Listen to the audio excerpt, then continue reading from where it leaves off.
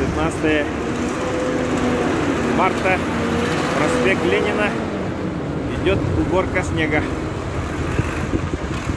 А мэрия работает.